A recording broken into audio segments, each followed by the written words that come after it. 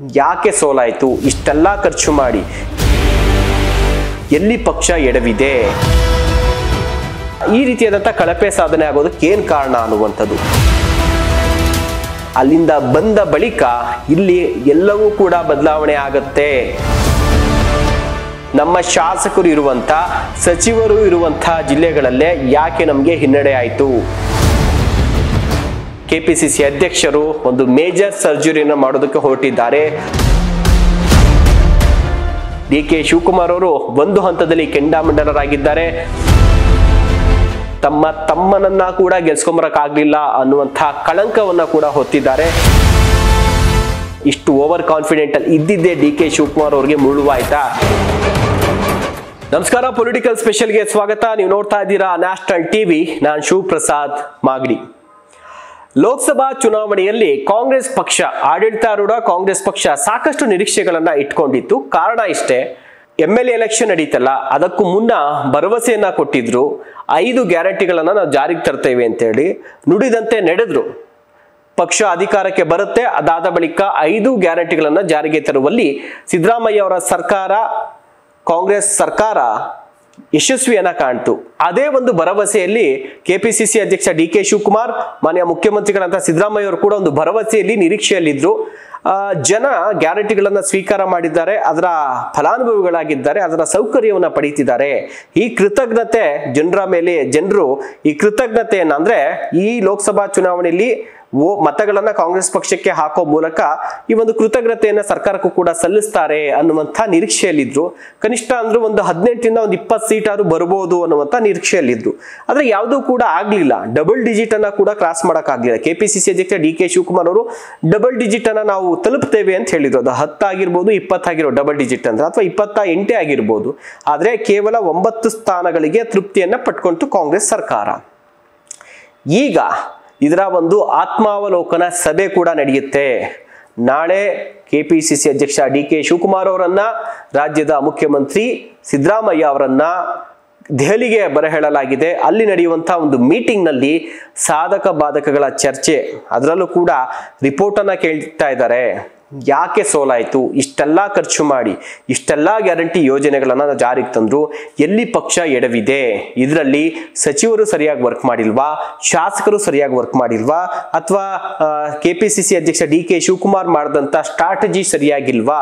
ಎಲ್ಲವನ್ನ ಕೂಡ ಅಂಕಿ ಅಂಶ ಸಮೇತ ನಾಯಕರು, ಹೈಕಮಾಂಡ್ನ ನಾಯಕರು ರಾಹುಲ್ ಗಾಂಧಿ, ಮಲ್ಲಿಕಾರ್ಜುನ ಖರ್ಗೆ ಅವರು, ಅದು ಕೂಡ ಖರ್ಗೆ ಅವರ ರಾಜ್ಯ ಇದು. ಖರ್ಗೆ ಎ ಸಿ ಸಿ ಅಧ್ಯಕ್ಷರು ಇರುವಂತಹ ರಾಜ್ಯ ಹುಟ್ಟಿದಂತಹ ರಾಜಕಾರಣವನ್ನ ಮಾಡಿದಂತ ರಾಜ್ಯದಲ್ಲೇ ಈ ರೀತಿಯಾಗಿ ಸರ್ಕಾರ ಇದ್ರೂ ಕೂಡ ಈ ರೀತಿಯಾದಂತಹ ಕಳಪೆ ಸಾಧನೆ ಆಗೋದಕ್ಕೆ ಏನ್ ಕಾರಣ ಅನ್ನುವಂಥದ್ದು. ಇದರ ಜೊತೆಗೆ ಡಿ ಕೆ ಶಿವಕುಮಾರ್ ಅವರು ಕೂಡ ಹೇಳಿದ್ದಾರೆ, ಅಲ್ಲಿಂದ ಬಂದ ಬಳಿಕ ಇಲ್ಲಿ ಎಲ್ಲವೂ ಕೂಡ ಬದಲಾವಣೆ ಆಗತ್ತೆ, ನಾನು ಕೂಡ ಒಂದು ಮೀಟಿಂಗ್ ಅನ್ನ ತೆಗೆದುಕೊಳ್ತೇನೆ ಅನ್ನುವಂಥ ಹೇಳಿಕೆಯನ್ನ ಕೊಟ್ಟಿದ್ದಾರೆ. ಒಂದು ಎಚ್ಚರಿಕೆಯ ಸಂದೇಶವನ್ನ ಕೂಡ ತಮ್ಮ ಲೋಕಲ್ ಲೀಡರ್ಸ್ಗಳಿಗೆ ನಾಯಕರಿಗೆ ಒಂದು ಎಚ್ಚರಿಕೆಯ ಸಂದೇಶವನ್ನ ಕೊಟ್ಟಿದ್ದಾರೆ.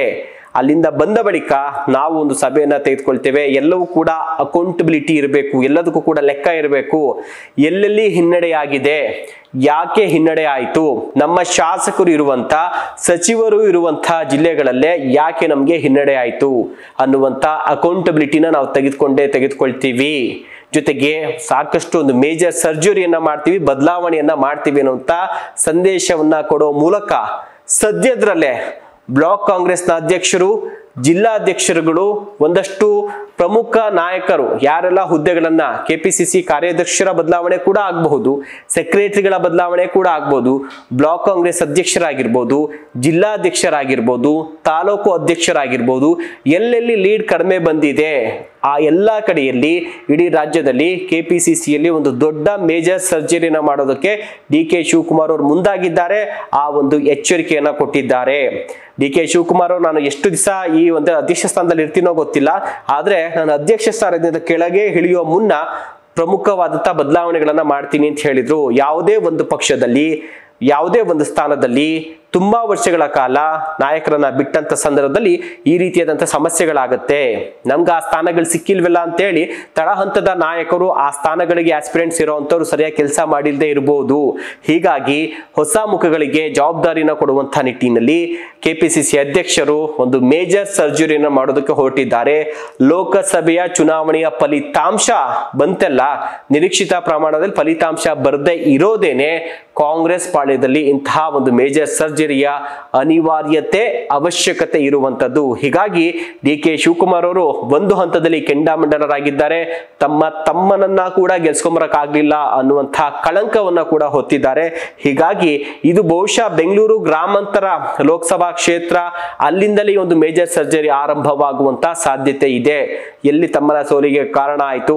ಇಷ್ಟು ಓವರ್ ಕಾನ್ಫಿಡೆಂಟ್ ಅಲ್ಲಿ ಇದ್ದಿದ್ದೇ ಡಿ ಕೆ ಶಿವಕುಮಾರ್ ಅವರಿಗೆ ಮುಳುವಾಯ್ತಾ ಕೇವಲ ಬೆಂಗಳೂರು ಗ್ರಾಮಾಂತರ ಕ್ಷೇತ್ರ ಒಂದೇ ಅಲ್ಲ, ಹಲವಾರು ಕ್ಷೇತ್ರಗಳಲ್ಲೂ ಕೂಡ ಇವರ ಒಂದು ಓವರ್ ಕಾನ್ಫಿಡೆಂಟ್ ಏನಿತ್ತು.